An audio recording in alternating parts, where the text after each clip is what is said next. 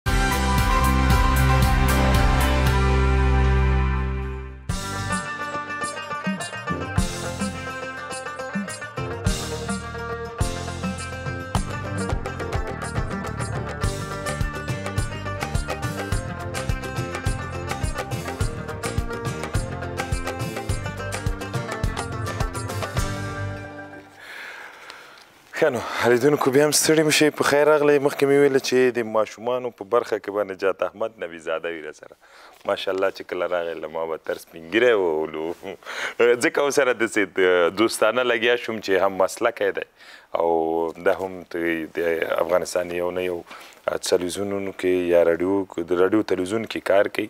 او نو د سه خلکو سره مرکه کول یو څه ناصر ستونزمن وي ښه ستړی مې شروع په خیر راغلی خبرونه چا دا د مصر بازارونه د خدای ړنګ کړي دا د مصر بازارونه د خدای ړنګ کړي د یوسف ښکلا خرڅیږي پیسې نشته د هر څه نه مخکې اقبال جانه تا ته ستاسو تخنیکي همکارانو تولیدونکو ته سلامونه او نیکې هیلې وړاندې کوم او هیله لرم چې روغ او جوړ اوسیږي خیر اوسې نبیزاده ورور څنګه احساس ته دې شاعرۍ پیدا کړ او څه څنګه داسې یو مینه او علاقه دې د شاعرۍ سره پیدا شوه او ولې مقالې لیکې ولې شاعرۍ ته دې مخه کړه؟ زما خو اولنی ډېر شوق و د شاعرۍ سره چې زه غواړم چې شاعر شم ډېر مطالعه ډېر د شاعرانو سره ناسته پاسته مې وه خو بالاخره د وطن درد و د وطن احساسات و چې شاعرۍ ته مې مخه کړه او زما یو ډېر غټ ارمان و چې زه باید شاعر شم ژورنالست او په څنګ کې د ډاکټرۍ تمه هم لرم چې په راتلونکي کې د یو ښه ډاکټر هم شم خو زما ډیر علاقه وه د شاعرۍ سره چې زه شاعر شم. ماشاءالله ژورنالستي، شاعري، لیکوالي، ډاکټرۍ سره علاقه لري دې نه به په ځان باندې نوم ګوګل ایښی و. زما خو یوازینی هدف په ژورنالیزم کې سیاسي برخه ده چې غواړم سیاست ته مختص شم. یوازینی هدف او یوازینی تګلاره مې د مور جانې زما چې خاص هغه لري د غټ ارمان چې د مور مې دی چې سیاست ته مې یو زوی وځي او د پلار ارمان مې چې دی زوی مې باید طب ووایي د دواړو ارمانونه پوره کوم او دواړه نه نهیله کوم. نامزاد خو نه یې نه نه نه او چې د هغې خواهش اوس څوک پوره کوي ګور هغه وایي دا دی باید باډي بلډر وي نه ډېره زیاته مننه چې راغلې قدرمن لیدونکو نبیزاده صاحب هم له موږ سره د واتساپ له لارې تماس نیولی و نو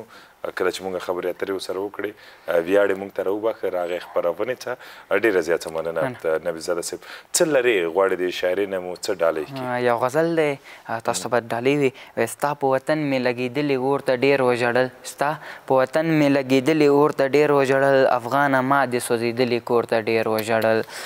بچیه ستا د پلار قاتل تر اوسه نه دی معلوم بچیه ستا د پلار قاتل تر اوسه نه دی معلوم په دې خبرې ما خپل مور ته ډیر وژړل خدایه چې عذاب دې راګډ کړی د پښتون په سیمه خدایه چې عذاب دې راګډ کړی د پښتون په سیمه ما بې ګناه خپل قتل شوي ورور ته ډیر وژړل وې د کلي خانه ویده کړی مې نهر بچی دی. د کلي خانه ویده کړی مې نهر بچی دی، ما ستا په راپور شوي کور ته ډېر وژړل، وې په ژړا سر تر دروازې راپسې منډې وهي، اقبال صیب، وې په ژړا سر تر دروازې راپسې منډې وهي، ما په دروازه کې خپل خور ته ډېر وژړل، ما په دروازه کې خپل خور ته ډېر وژړل. دا شعر دې خپل ده. او داسې څه دې ولیدل چې دا شعر دې ولیکه؟ دا داسې و چې په یو ځي کې موږ چې کوم ځي کې ژوند کوو په هغه ځي کې یو داسې احساس راغی چې د زموږ د کوڅې همغه نماینده چې دی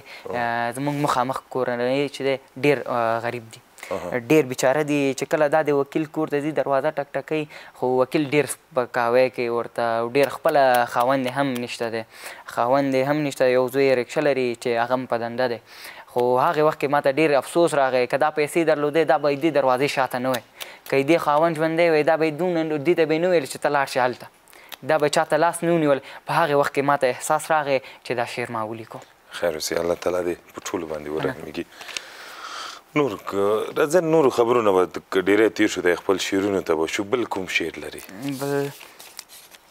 وې د سرو ګلونو تماشه د آخر تیره بشي د سرو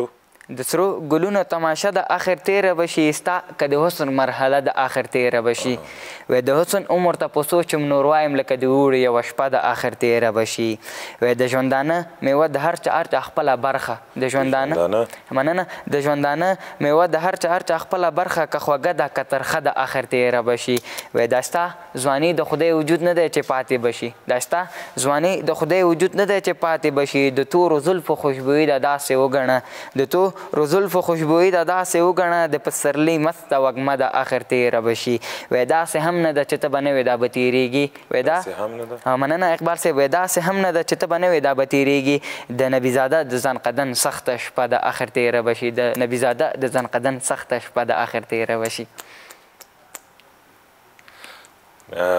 زه غواړم یو څه ووایم هغه مور یا هغه پلار چې خپل د اولاد په روزنه کې زیار وباسي او داسې یو ځوان جامع ته تقدیموي داسې یو څوک چې په هر نه نګاه نه کولی شو اعتبار پرې وکړو چې انشاءالله داسې کسان به وي چې وخت د دولت لوړو پایو ته ځان ورسوي نو تا له خوا نه د خپل لیدونکو له خوا نه زه غواړم ستاسو له کورنۍ نه مننه وکړم او ډیری دې څوک تشویقوي ډیری مې ټوله کورنۍ د خویندو ورونو مور او پلار د ټولې کورنۍ خوا نه تشویقېږم داسې هېڅ کس نشته چې زما پر ضد سیاست دې یاد که سیاست کې غواړې څوک ځان ته ولګو وټاکې سیاست د ستاسو یو خبرنګار هم و بهرام امان خاص د هغې سیاست مې ډېر خوښېدو او د هغې خپرونې ته به خاص زه ناست وم او همغسې غواړم چې سیاست هم مخته ویوسم د بهرام امان په شان دې ښه ښه نور او که موقع درته برابر شي غلا کوې نه خدای دې نه نه کوي ښه راځه یو بل شعر دې اورو اوس خو وایې یو دې وګورم. نه نه خدای نې وای هلته چې خلک نه رقیب او نه جانان پېژني. هلته چې خلک. مننه وای هلته چې خلک نه رقیب او نه جانان پېژني هلته چې خلک نه پسرلی او نه خزان پېژني هلته چې خلک هر څوک د بل چا په غم کې نه دی شریک هلته چې هر څوک د بل چا په غم کې نه دی شریک هلته چې خلک بس یو ځان پېژني یو ځان پېژني په توره شپه کې د غلا پسې راوتي په تو. په توره. مننه په توره شپه کې د غلا پسې راوتي د اميدونو د سبا مرګ پسې راوتي وې هلته چې خلک په تورتم کې زندګي خوښوي هلته. مننه وې هلته چې خلک په تورتم کې زندګي خوښوي هلته چې خلک د مرګ په سيورې ولاړ دي وې ژوند لکه باب د ژوند لکه د باب ژوند لکه لکه د باب د ژمې مازدیګر ولاړ دی ژوند لکه د باب د ژمې مازدیګر ولاړ دی هلته چې هر لیکوال قلم تر زنه کړی هلته چې هر لیکوال قلم تر زنه کړی هلته هر شاعر لکه بت د بل په در ولاړ دی هلته هر شاعر لکه بت د بل په در ولاړ دی لومړی شعر د چویل کوم شعر و لومړی ټپیزه وه وای موږ په نکریزو نه پوهیږو څوک چې نکریزه لګوي یار بلرینه وای د اختر شپه د خوشحالي د انجونې ځان ته په لاسو نکریز ږدینه بل.